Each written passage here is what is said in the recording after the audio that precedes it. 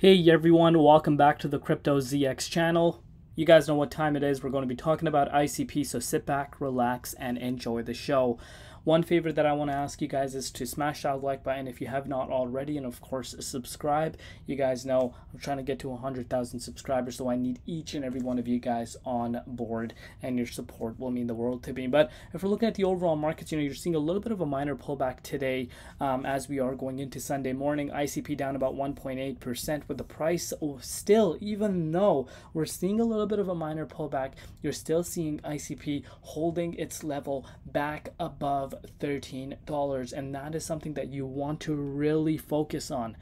Really really important to focus on this. So let's take a closer look and see what is happening. But before we do that as always just a quick disclaimer for everyone. Anything on this channel is not financial advice. Always do your own due diligence and research when you are investing in crypto. So as mentioned to you guys you know $13.21 is the price of ICP we're down about 1.1% over the past 24 hours in USD and Bitcoin comparative. So, you know, before anyone comes out and says, oh, look at ICP, this and that, I really hope you guys are looking at the broader market and literally looking at what's happening across the board, not just for ICP.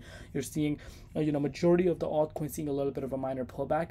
Um, and, um, you know, that's totally fine. We are, um, you know, obviously in a weekend and on the weekends, we do tend to see more manipulation than usual. But let's not forget what we're seeing happening for the, you know, overall market on the week weekly time frame as well as on the monthly time frame. On the weekly time frame, ICP is up 11.2%. So that is something that you really want to be paying very close attention to. But as far as market cap goes, you know, we're still above $6 billion, 6.1 billion to be exact and the 24 hour trading volume is currently sitting at 111 million. So not bad in both sections. But let's take a look at what's happening with the price of Bitcoin, with the price of um, you know ICP, and of course the dominance index. So let's start off with the dominance index. So let me zoom in a little bit to show you what's happening.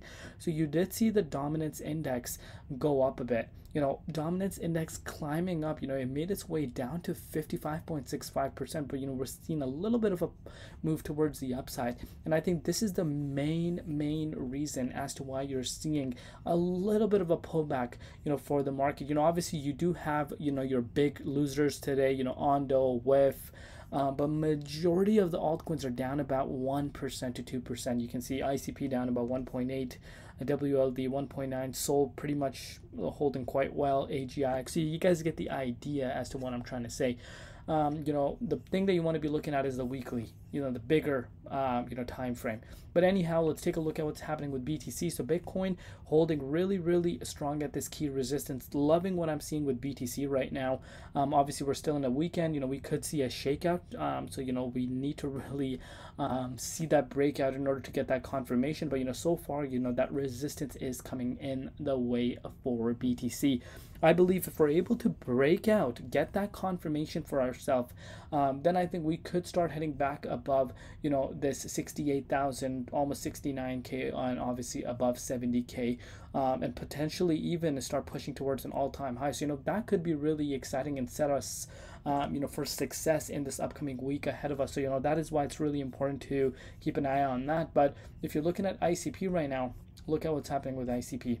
So, if I were to zoom in, we did end up so look at it just yesterday we did end up retesting that key resistance. And we spoke about this key resistance with you guys yesterday.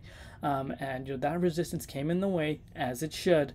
Um, and you know we did see a little bit of a rejection. Uh, but you know that's the same spot that you want to be looking at right now. It's extremely important for the price of ICP to be actually above that zone. What I want you guys to be paying attention to is last month. It's pretty much since we um, you know obviously went back above this. So you know this recovery was a really nice recovery. This bounce, uh, you know that initial pullback that we did see due to Bitcoin, you know, look at this bounce. This shows that a lot of buying pressure was around this level because at that time you saw an instant recovery of about 40% and of course you know we did see bitcoin having a shakeout slowly but surely you know icp made its way back down to this support line. But you know once again you're still seeing a little bit of a hard time breaking past this key resistance. We did see this hard time coming in our way uh, pretty much late april and we're starting to see that happening now. But i do believe if Bitcoin is able to break out of this key resistance that I'm referring to,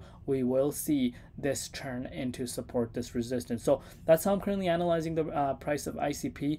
Uh, not looking as bad as a lot of people think. Um, you know, some people just want ICP to be uh, back above to all-time highs in a snap of a finger. That's not going to happen. It might not even happen this bull market, which I think it won't. I don't think, you know, ICP will reclaim its all-time highs this cycle. You know, I really want you guys to be realistic on that. That's a crazy, crazy move for that to happen. Could I see it in triple digits? I've already mentioned that. I believe it can get to a three digit, but not towards, you know, those 700 prices. But that does not mean it can't happen in the, uh, you know, uh, upcoming future, maybe in the next few years. But um, that's how I'm currently analyzing it. Of course, you know, we did, uh, you know, break out and get to the $20 price point, but we still haven't retested the $23.67 resistance, which is kind of dating back to April 3rd. So that's how I'm currently analyzing the charts. Do let me know down below what you guys think. Love you all. See you tomorrow in Crypto ZX and peace out.